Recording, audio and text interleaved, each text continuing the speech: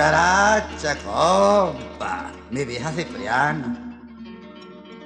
Tan buena que salió mi pobre viejita, chico. Ella era una veguerita, esa de talón cuarteado. Me la llevo para el centro y se me moderniza la muérgana. Un día de eso me dice, mira mi amor, yo quiero ir para el salón de belleza.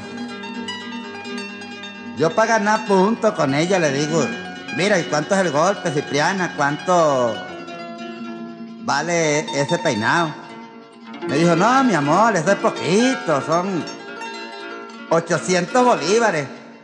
Le dije, toma viejo, anda que te haga ese peinado. La metieron por un cuartico allá. Le pusieron una broma como un tobo aquí en la cabeza, con un pedazo de cable pegado.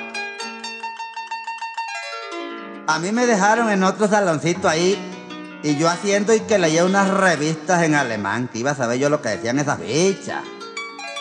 Ahí ojeando y viendo dibujos y matando el tiempo mientras me le hacían el trabajo allá a la mujer. Al rato sale aquí la doña, mire, desfilando con un peinado de bomba en la tabla del, del cogote. Mejor dicho, aquí en la pata de la nuca y me dice, ¿cómo quedé viejo? Le dije, conchale, mi amor.